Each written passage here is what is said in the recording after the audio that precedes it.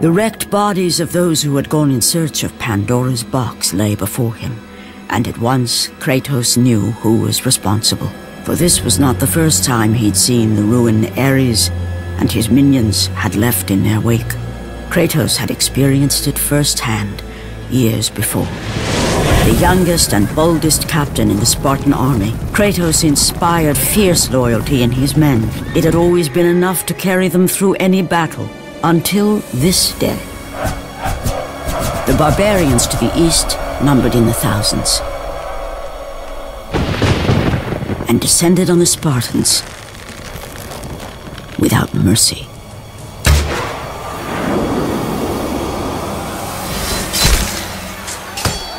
The battle lasted near hours.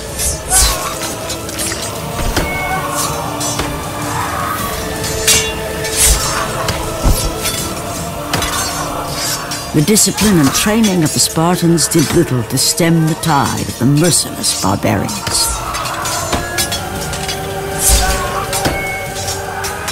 The soldiers faced a massacre, while their young captain faced the end of his brilliant career and his life. But to Kratos, victory was worth any price, even his soul. Ares!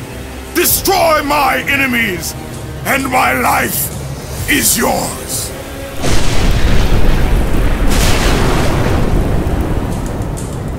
That desperate call for aid would come to haunt Kratos for all his days.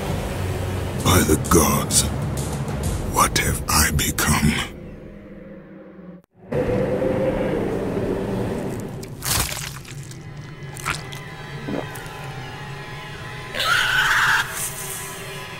Kratos had been in service to the gods long enough to know the Harpy had been sent as a warning, a reminder from his former master of the decision that had cost Kratos everything.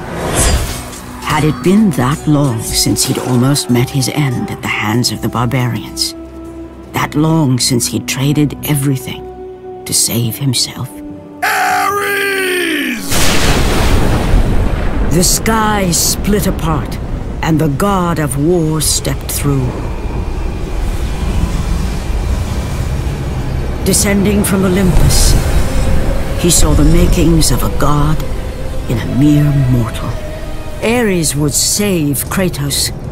He would turn him into the perfect warrior, his servant on Earth. Only a simple pledge of loyalty was required. My life is yours, Ares. From this day, I shall carry forth your will. And his fate was sealed. As promised, Ares rescued his new disciple, bringing forth the power of a god. Destroying those who would slaughter Kratos and his men.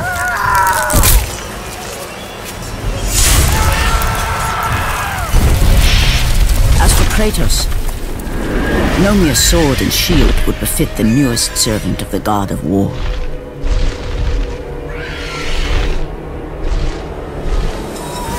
The blades of chaos, forged in the foulest depths of Hades. Once attached, the chains remained so, chained and seared to the flesh, a part of the bearer's body, a permanent reminder of Kratos' pledge. In return, ultimate The rage of Ares exploded from within. But soon, he would learn the true cost of such power. A cost too high even for Kratos to pay. Wretched beast! I know who it is you serve! Return to your master! Tell the god of war I am his no longer. Tell him he is not safe while I walk the earth. I will find Pandora's box. And I will use it to see him tremble and fall before me. The path before Kratos was clear, but still, the memories came rushing back, as familiar and permanent as the blades chained to his wrists. Memories of what he'd done in the name of Ares. Memories of how he'd become a servant to the god of war. A beast his humanity robbed, and replaced only with the will to murder.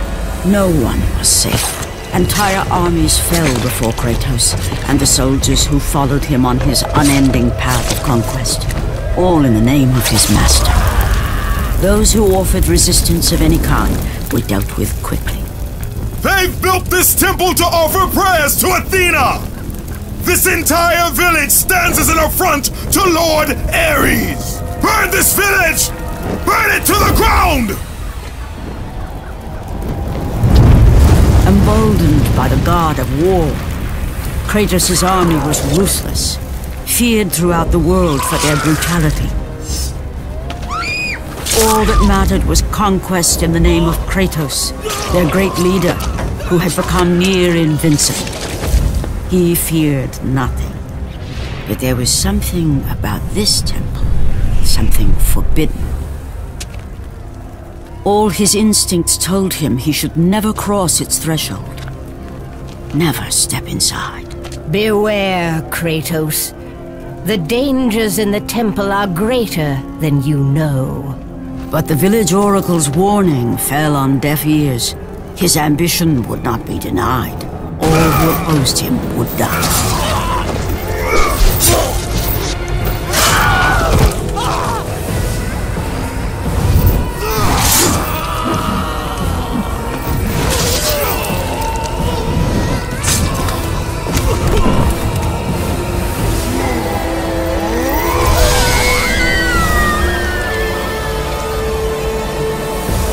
In that instant, the glory he had reveled in turned to horror. The image of his two final victims would stay with him for all his days. With that act, Kratos knew he could no longer serve his master. He had but one calling now, the death of Ares. He would murder the god of war. Ares. You will die for what you did that night.